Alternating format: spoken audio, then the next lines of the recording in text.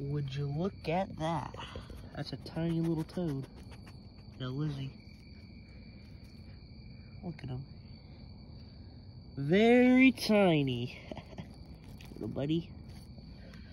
Goodbye.